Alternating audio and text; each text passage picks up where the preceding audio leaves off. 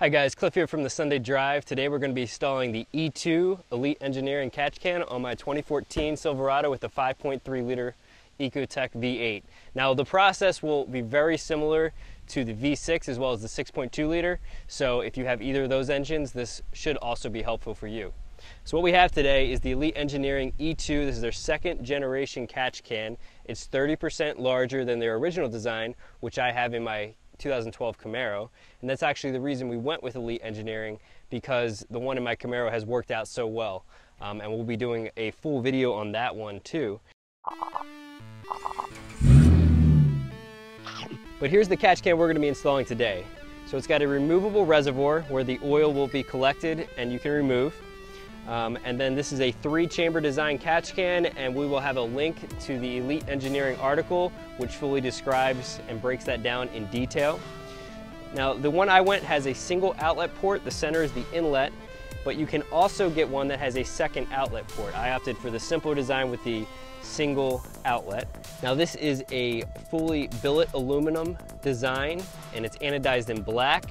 Um, it's only available in black, whereas the standard one is available in multiple colors, so that's one downside. But if you know a painter, they can easily paint this up any color you want. All right, so let's show what came in the package and we'll get this installed. All right, so these are the parts that are included. You obviously have the catch can, which we went over already. You get a bracket designed specifically for your vehicle, two screws to mount the catch can to the bracket. You get some spring fittings to go over the hose that's provided and clamp that down. You also get a lock washer and a replacement rubber gasket. These are the tools that we're going to need to install the catch can. Now you're either going to need a 10 millimeter socket or a deep well 15 millimeter socket and this depends on the install location. Uh, we'll show you both options. A razor blade to cut the rubber hose, a trim removal tool depending on the installation location, a flat-headed screwdriver, some zip ties to secure the rubber hose, then either some vice grips or a tool such as this, and that's gone. An 11 16 and 3 quarter inch wrenches, a 3 millimeter Allen key, and then if you're following along our guide, we're actually going to give you specific lengths of the hose to cut, so you'll want a tape measure, and then some lubricant to insert the hose in the AN fittings. All right, so the first thing you want to go ahead and do is mount your bracket. Now this can be mounted either this way or this way, or obviously on the other side as well. Um, but we're gonna go ahead and mount it this way. We've already checked our mounting location and this is the orientation we wanna have it in. You're gonna insert these two provided screws and then tighten those down with a three millimeter Allen key. Now these mounting locations are gonna be standard in any of the current GM truck models. The option that we're gonna go with is actually mounting to your brake booster right here. We're gonna undo this 15 millimeter bolt and mount the bracket right to that. It's gonna mount in this orientation right here. The one nice thing I like about this location is that it puts the catch can very close to the PCV system so you don't need any very long runs of the rubber hose. Another common mounting location is right here by the washer fluid bottle. So the catch can would mount right inside this cavity that's meant if you have a secondary battery. I don't want to put it here because you have to have a much longer run over to your PCV system, whereas you're a lot closer over there. A third solution I have seen is placing the catch can in these holes right here, right below the radiator shield. You just pop out these tabs, this would lift off and you can access these holes. The downside to this is that you do need to have a bolt to install it here, whereas in the other two locations, you're reusing existing bolts. I don't really like this position because I feel like it puts it up a little bit too close to the hood, although it does supposedly fit in this location. So you do have three options for installing it depending on what you want to do. So we're going to go ahead and remove this 15 millimeter bolt. So I stand corrected, we're actually removing the nut. The bolt itself is in the brake booster, so you're just gonna go ahead and remove this nut. Just be careful not to drop it. Next, we're gonna go ahead and remove the stock intake.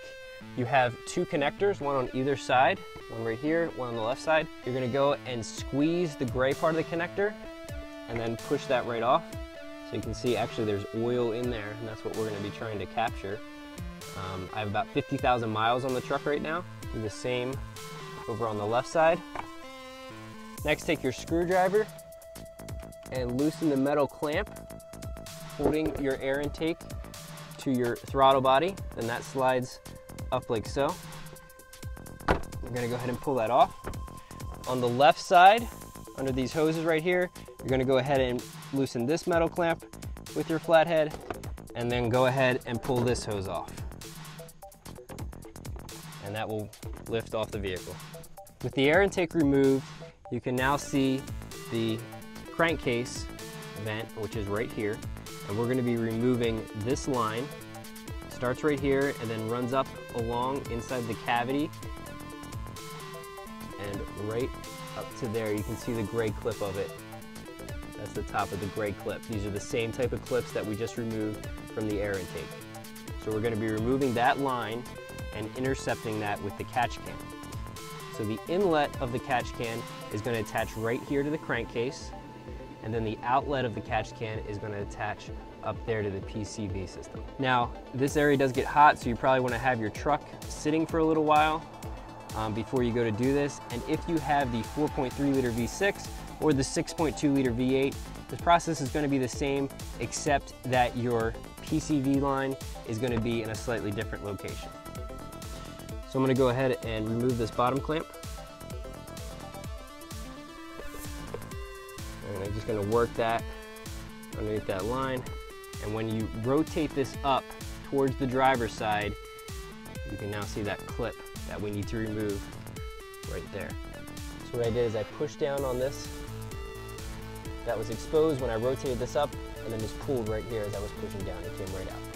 Now we will not need to reuse this part, but I would recommend saving it in case you ever want to take the truck back to stock and reuse your catch can in another vehicle. All right, now that we have everything removed that we need to from the vehicle, we're gonna go ahead and mount our catch can. We're gonna wanna go ahead and put the provided lock washer on the outside of the catch can bracket.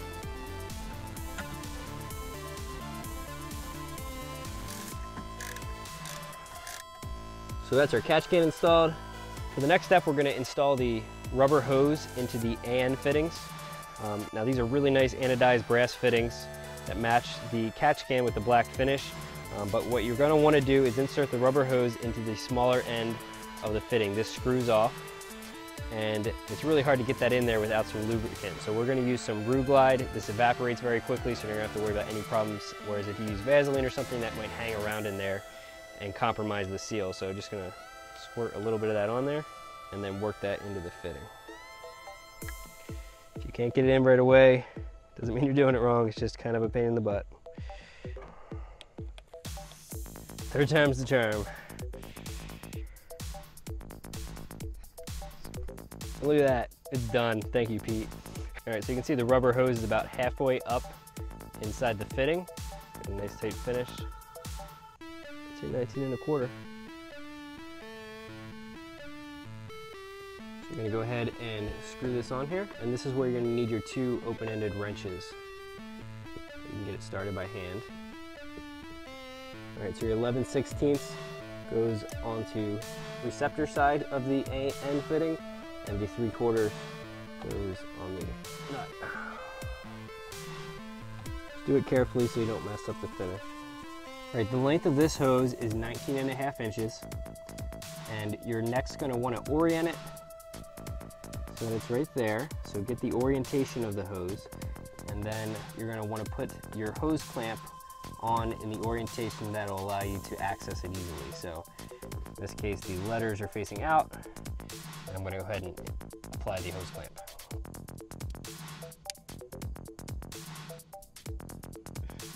All right, now that we have that first line run, again, this was 19 and a half inches, we're gonna route the second line so that we can zip tie these two lines together.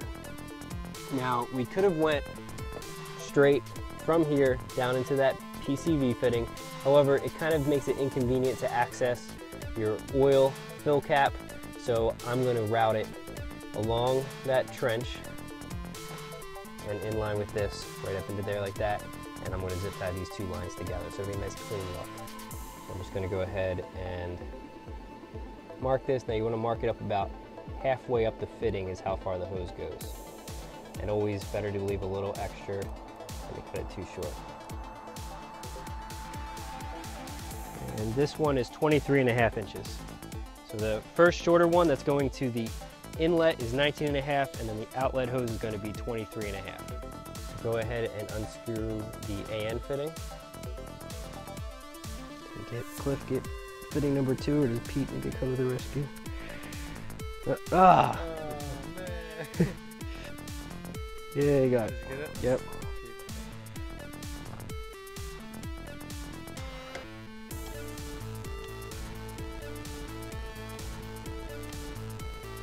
I got the hose clamp on there. I'm going to feed that through.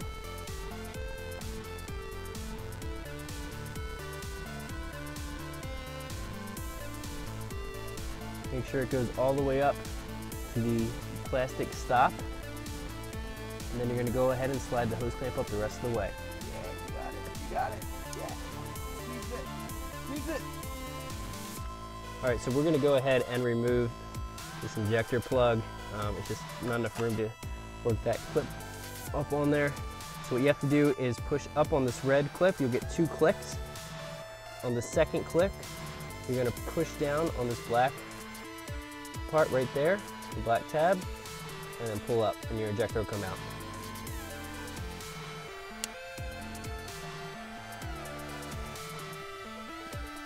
There you have it. That's the last clip installed. So go ahead install your injector plug. All right, now you're going to want to go ahead and reinstall your air intake. Just install these two tabs right here. Go ahead then and reinstall your air intake. You just got these two plugs, the one right here, the one right over there. You got to install the hose clamp on the throttle body and on the air box over on the passenger side. All right guys, so that's it. Here's the catch can installed. As you can see, it's very accessible. You can reach right down here and loosen this very easily. And I have plenty, more than enough room to go ahead and remove this and dump it. As the last step, I'm gonna go ahead and zip tie these two lines together. But that's really all there is to it, guys. It's a very simple, straightforward install. We're gonna be doing some follow-up videos that show how much oil is collected with the 5.3 liter Ecotec. Um, so stay tuned for that. And thanks for watching, guys. If you enjoyed this video, please give it a big thumbs up and subscribe. See you guys back here next time.